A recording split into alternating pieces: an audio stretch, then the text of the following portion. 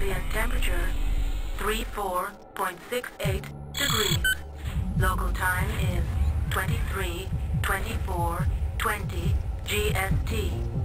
All systems nominal. Hello and welcome to Operation Mirror Cage. Our mission today is to destroy the uh, Clan Wolf dropship Bannockburn.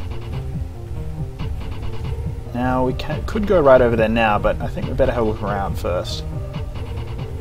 I know it's going to be defended. Ah, uh, yep, there we go. Now if you can get a line of sight on enemy mechs, even if they're shut down, you can see them from quite a ways away. Fire engaged.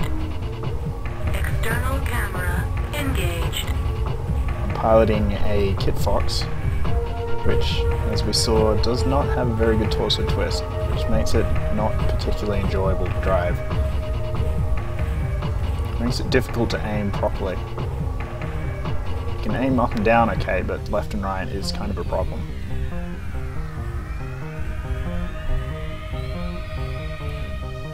Now, as the Jenners are armed entirely with short-range missiles, I want to engage this guy from as long range as possible. Fortunately, my only my longest range weapon is the Ultra Autocannon 10, which has a range of 500 meters. So I'm going to have to get that close before I can engage this guy.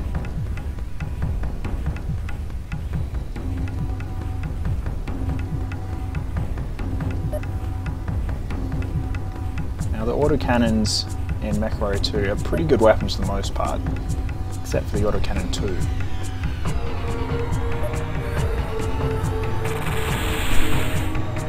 They fire very quickly and they do a lot of damage. But because they fire so fast, and because you don't get a whole lot of ammo per time, you need to think a little more carefully about when you want to use autocannons. Problem with the autocannon 2 is it only does as much damage as a machine gun, but it weighs 20 times as much. Now, it has a really long range, but that's really not worth the trade-off. It's best to fire in short bursts, so as not to waste ammunition. Now if you remember these Kit Fox's primary config has quite a lot of long range weapons so I definitely don't want to engage this guy at a range where he can hit me and I can't hit him back.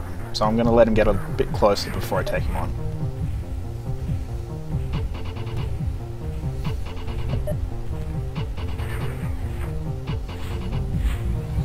Luckily the terrain in this mission is quite hilly, which gives me pretty good cover for the most part.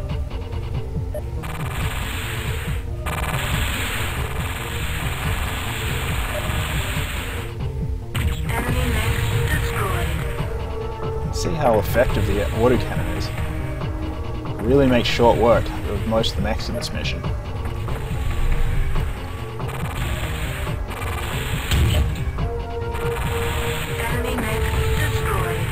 carrying 5 tons of ammunition, which is pretty much as much as I possibly could. For the most part in MechWarrior 2, you want to use your ammunition weapons uh, first, because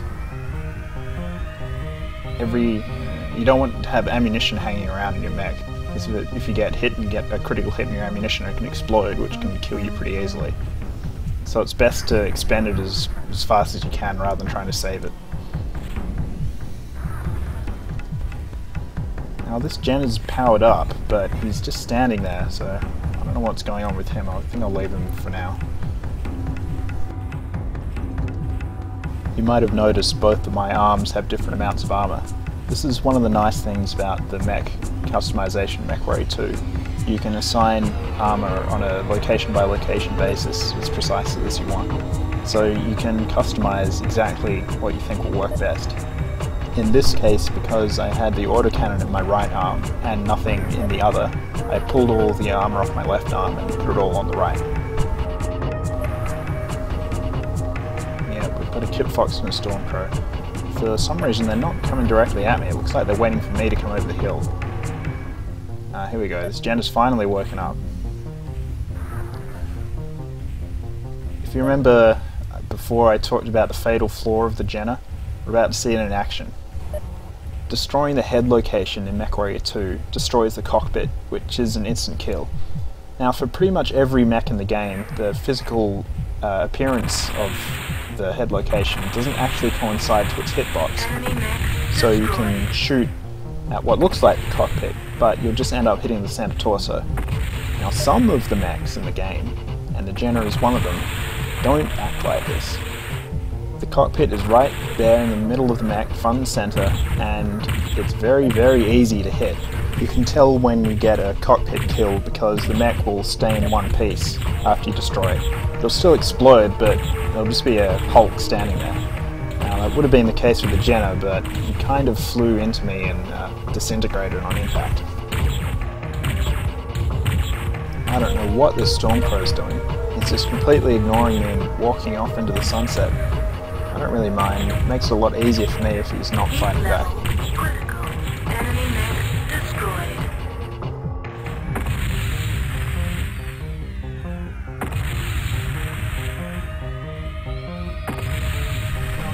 Come back and finish off this Fox.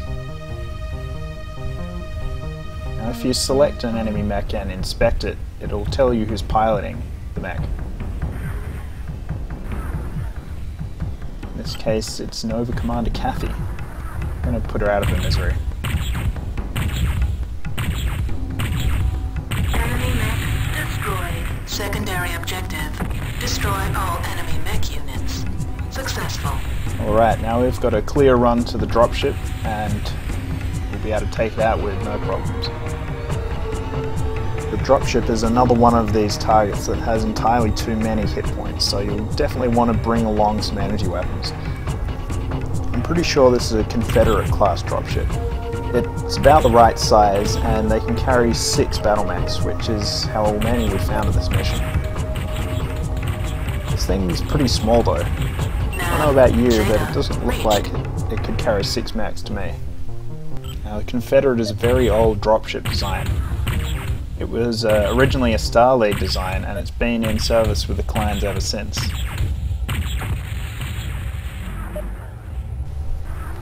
I don't think destroying these repair vehicles actually gets you anything, but, you know, they're there. You might as well shoot them.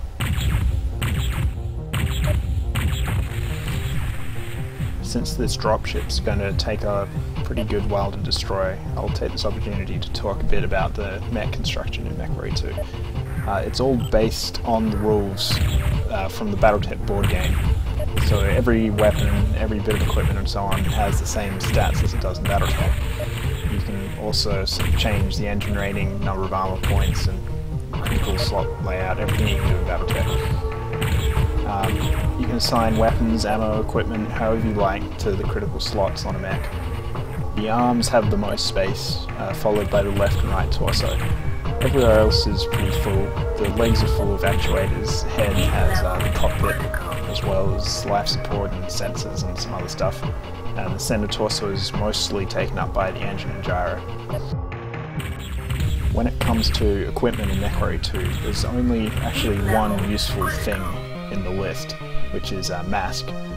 The rest of the stuff in there is just more arm actuators, upper arm actuators, I think, which don't actually do anything MechWarrior 2. In Battletech, they let you do melee attacks and pick up things and so on, but you can't do that in MechWarrior 2. There are three optional technologies that let you trade off critical space for more weight. Uh, there's XL engines that take up uh, space in the left and right torso, uh, ferrofibrous armor, and endosteel internal structure. Now, endosteel and ferrofibrous armor are really nice because you can just put the critical slots wherever you want. When it comes to assigning uh, slots in the mech, putting things in the head and the legs is generally the safest place. Because the. AI just aims at your torso, um, your legs are pretty safe because they're usually only going to get damaged by uh, splash, so explosions, PPCs, things like that, or if you're being shot from a low angle. The head is pretty safe because, as I mentioned, it's hard to hit, and if you are getting hit in the head, you're not going to be lasting very much longer anyway, so it's a bit of a moot point. Ammunition you especially want to keep safe because the way ammunition explosions work in MechWarrior 2, uh, and Battletech as well for that matter, is that all of the remaining ammo in that slot explodes and applies its full damage to that location. So let's say we have a ton of machine gun ammo. Machine gun does two damage and one ton of. MG ammo is 200 rounds.